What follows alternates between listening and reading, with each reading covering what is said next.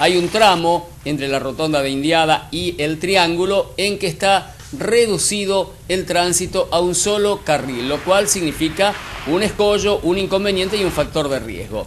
Automovilistas que circulan habitualmente por el lugar han reportado como mayor preocupación el hecho de que la señalización luminosa por las noches en la rotonda del triángulo nada menos no existe o por lo menos no ha sido repuesta si es que en algún momento estuvo. Por lo tanto, mientras aguardamos la finalización de la obra, sería deseable que las autoridades responsables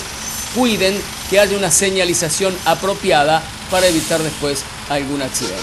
Esto ya lo habrá visto usted, está en la autopista a Punta Alta desde Indiada hasta el Triángulo con escasa, cuando no nula, señalización nocturna, dicen los vecinos que pasan seguido por allí.